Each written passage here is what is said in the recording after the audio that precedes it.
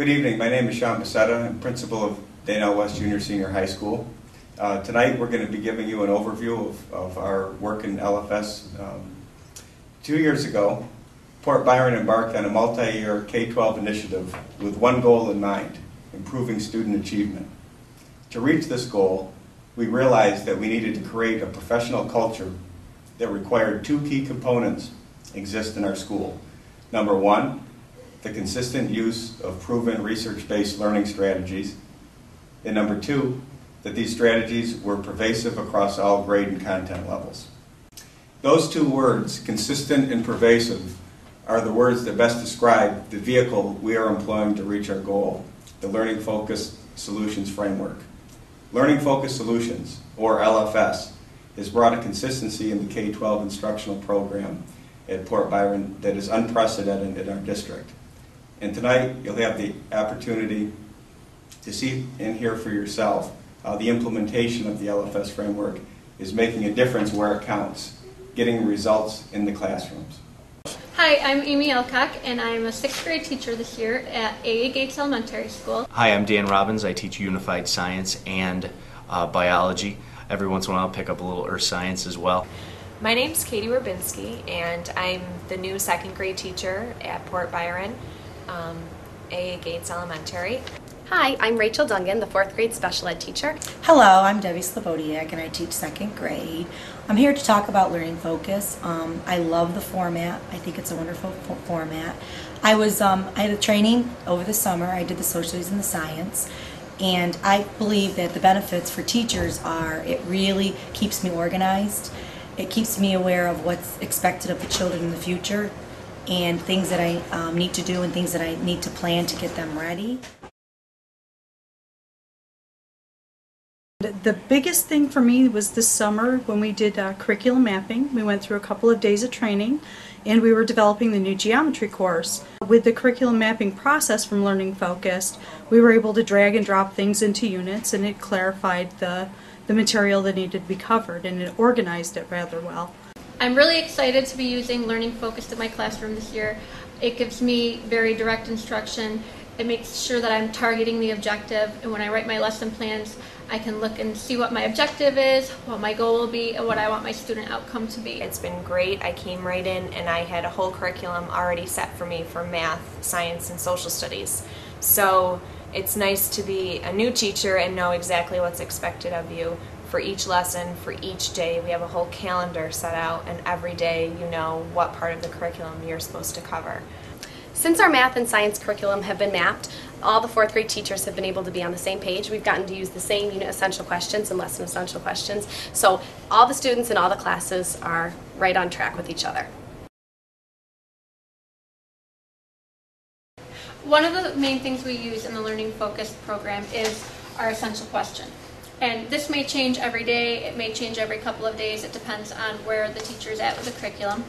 Basically, the kids will walk in and they'll see the essential question posted on the board, and they'll know what's expected of them for the day or the week or the couple of days, and um, they'll be able to answer this as they go through the lesson. Our essential question today is, what are the layers of the earth and what are they made of? Today we just started our first lesson for the math curriculum.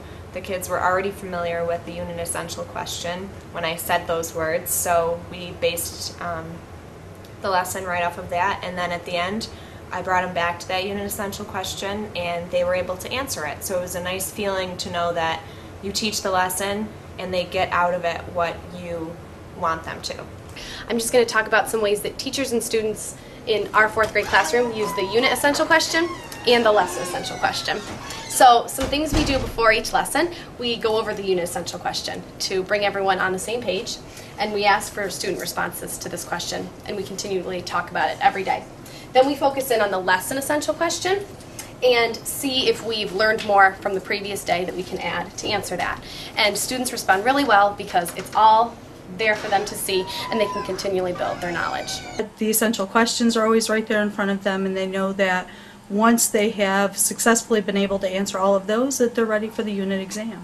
You can immediately see um, um, the, the essential questions, you can see that the students are being uh, presented with the purpose of their learning. And uh, once kids start to understand uh, why they're there and the purpose of what they're, what they're expected to do that day. I think there's a great benefit to that.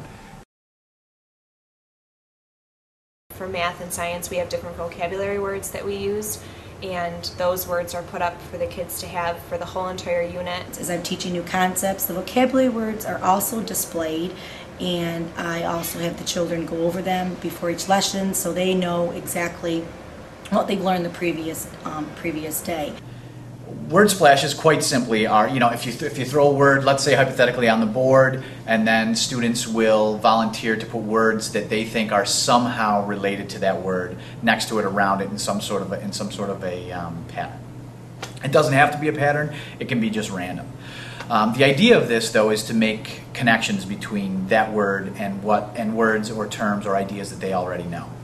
Um, we want we want to find out how much they already know about a given concept, and this will give the teachers a place, a jumping off place.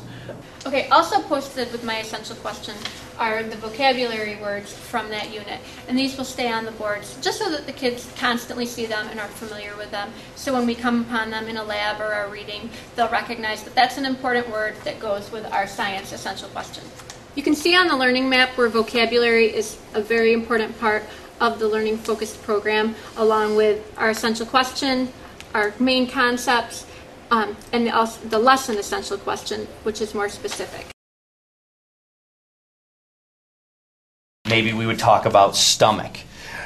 Okay, if we've reviewed and gone over some of the ideas, maybe it might be as simple as go over to Pat over here and, you know, put the name tag on the stomach. Something along those lines. Over the summer, we learned about the extended thinking strategies. I think those are really going to help our scores on Regents exams. The Regences are kind of going more towards that way where the questions aren't straightforward.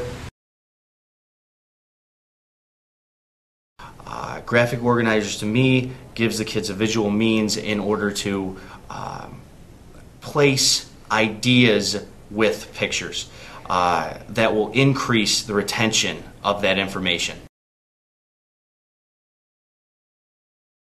Acceleration um, is, is again an LFS strategy that, that we've started to employ this year, um, which is the easiest way for me to explain it is pre-teaching. Now it's it's not pre-teaching; it's it's previewing, but I think that gives you an idea of what it is. Um, it it allows the students to get an idea of what's going to happen next. Um, some of the students who are at risk, who, who really need a little um, some academic intervention services, for example, have have already benefited from from this strategy. At least I've, I've seen that happen in my classroom. Um, it, it, again provides them with information. Um, it, it's almost a scaffolding. It provides them with information from which they can build on um, or upon. This, this previewing provides them with, again, I'm using the term scaffolding, um, pre-existing knowledge so that they can build upon that in class, um, which, which allows them a, sort of a leg up. Allows them to, to be at the same pace or, or maybe even ahead of some of the other students. Learning Focus has helped us a lot with our summary strategies in, in order to help us assess our students. So every day when the students leave, they're either answering some part of the lesson essential question or some component that's going to help them get, build their knowledge. We're really excited about the LFS coaching initiative, which we, uh, is a brand new thing that we're starting this year. Um, our coaching process is about our teachers saying, we want to get better collectively. Uh, it's about sharing ideas on a daily basis in between the big training uh, events that we've been involved with. Talking about with them, solving problems, and creating connections across grade levels and content areas. Uh, it's about making planning for success a team exercise instead of an isolated process. Yeah, so we just started the coaching program this year. It gives us a chance to kind of work with our peers rather than having an administrator just come in and give us a formal observation of what we're doing. You can have a fellow teacher come in and kind of give you a critique, help you with things that you can improve on, maybe share some ideas. One of the advantages I think of LFS is everyone's going to be on the same page. You've got students in the elementary school learning this standard way of lesson planning with essential questions the activ- activating strategies, the guided practice, and they're going to be taking that all the way up through high school. You're going to have kids in the elementary classes that are learning math basically the same way that they're going to learn it in high school. And it's going to allow for us to be on the same page. People are going to be doing the same things, even if I don't know exactly what they're doing down there. I know that we're going to be lined up as far as the LFS goes. Thank you very much for watching. We hope this has been informative for you, and we look forward to sharing uh, all of the great successes that we anticipate we'll experience this year later in the year. Thank you.